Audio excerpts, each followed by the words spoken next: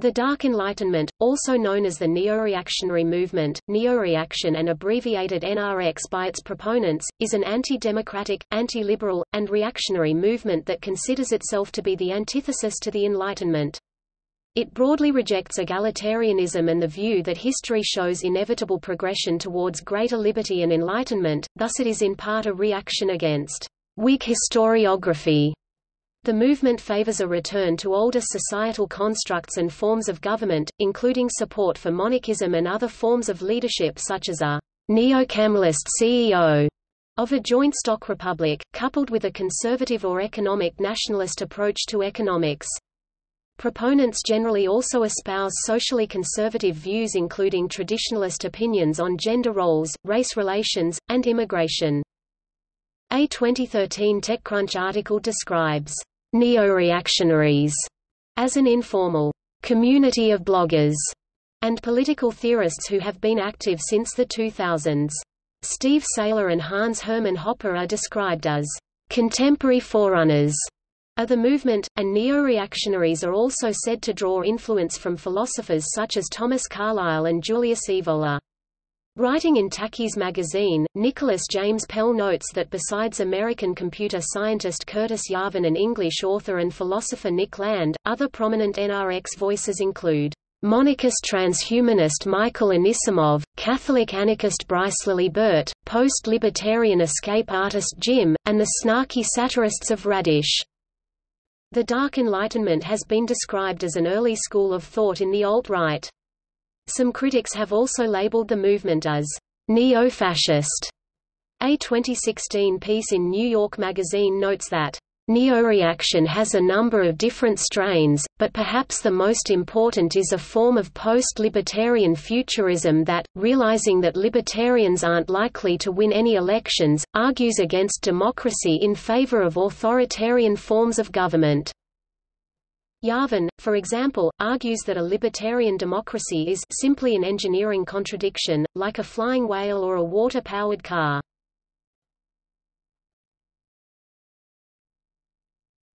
Topic. Summary of core ideas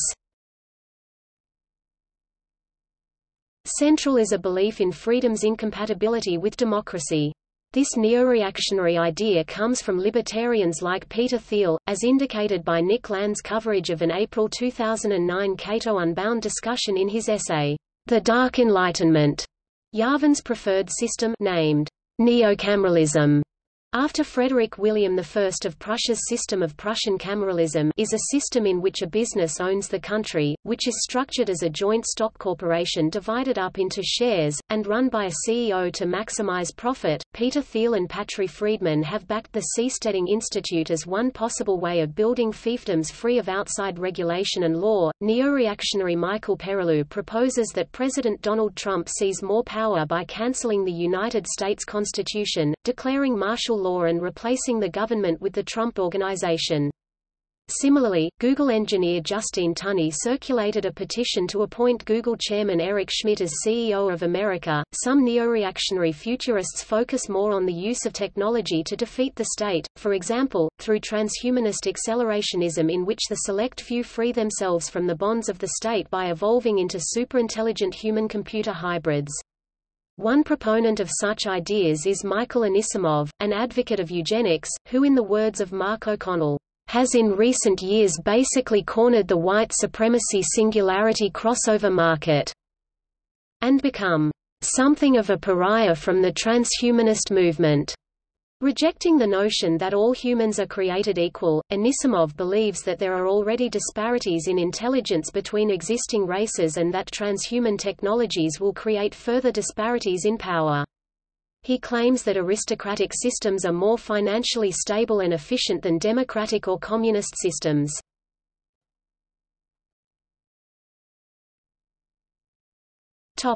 History and etymology Dylan Matthews argues that neo-reaction draws on the racialist, traditionalist and isolationist arguments of paleoconservatism as well as paleoconservatives' belief that the mainstream is trying to crush them. Differences between the two movements are that paleoconservatives are more religious and have more faith in the United States Constitution and Republican ideals generally.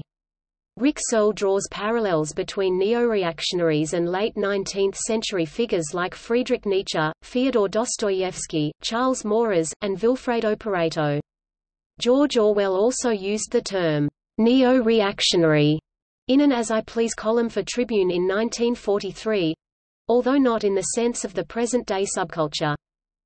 In 2007 and 2008, Curtis Yarvin—writing under the pen name Mencius Moldbug, articulated what would develop into Dark Enlightenment thinking. Yarvin's theories were later the subject of Nick Land, who first coined the term, Dark Enlightenment, in his essay of the same name. The term, Dark Enlightenment, is a play on words for the knowledge supposedly gained in the Enlightenment. According to Land, where the progressive Enlightenment sees political ideals, the Dark Enlightenment sees appetites on the view that the tendency of sovereign power in democracies is to devour society. Yarvin had originally called his ideology formalism a term inspired from legal formalism, but Arnold Kling used the term, the neo-reactionaries, as a noun in July 2010 to describe Yarvin and his followers and the term was quickly adopted by the subculture. According to Adam Riggio, the embryo of the neo-reactionary movement lived in the community pages of Lesswrong. Social Matter is a major online publication and thought machine for neo-reaction. Neo-reactionaries have often declined reporters' requests for interviews, explaining that journalists, as manufacturers of consent, are their mortal enemy. When the Atlantic political affairs reporter Rosie Gray attempted to interview neo-reactionary leaders, Yarvin suggested she instead, "...speak directly to my WH cutout, cell leader." A sarcastic reference to widely reported yet unsubstantiated rumors that Yarvin had ties to White House chief strategist Steve Bannon. While Nick B. Steves told her she was ill-suited to write about neo-reaction because 115 IQ people are not generally well equipped to summarize 160 IQ people.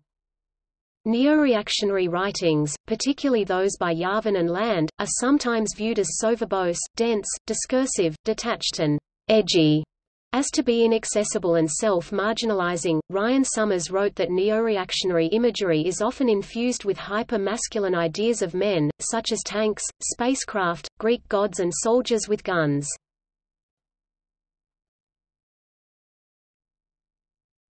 Topic: Relation to other movements.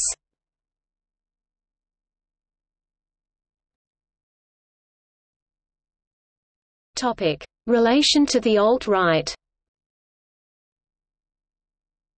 Some consider the Dark Enlightenment as an early school of thought in the alt-right, or as its most theoretically minded branch. In particular, one philosopher with Landian ideas, Jason Reza Jorjani, co-founded altright.com and spoke at the 2016 National Policy Institute conference led by Richard Spencer. Some critics have also labeled the Dark Enlightenment as neo-fascist or as an acceleration of capitalism to a fascist point. Although Land argues this is inaccurate because fascism is a mass anti-capitalist movement. Land states, NRX doesn't think the alt-right in America is very serious. It's an essentially anti-Anglo-American philosophy, in its Duginist core, which puts a firm ceiling on its potential. But then, the NRX analysis is that the age of the masses is virtually over. Riled-up populist movements are part of what is passing, rather than of what is slouching toward Bethlehem to be born. James Kirchick notes that although neo-reactionary thinkers disdain the masses and claim to despise populism and people more generally, what ties them to the rest of the alt-right is their unapologetically racist element, their shared misanthropy and their resentment of mismanagement by the ruling elites. Du Esterberg observes, As a rule the alt-right is scattered, anonymous and obscure, Thriving, as the curious metaphor has it, in the dark corners of the Internet. By contrast, neo-reaction is centralized and public, darkness enlightened.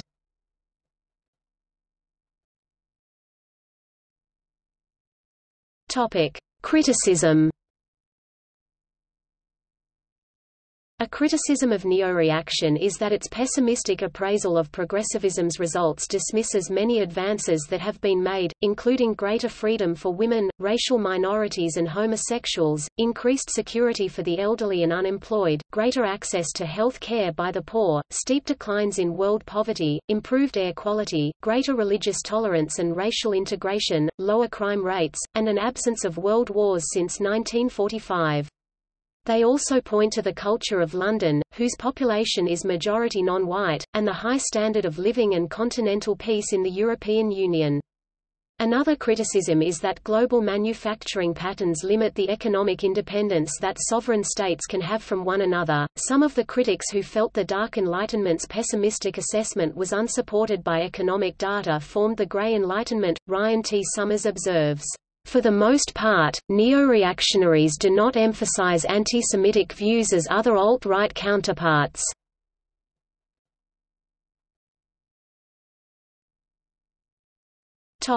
See also Alt-right Aristocracy Cultural conservatism Enlightened absolutism Fusionism Manosphere Natural order. Neo-nationalism. Paleolibertarianism. Reactionary modernism. Social Darwinism. Speculative realism. Traditionalist conservatism. Traditionalist school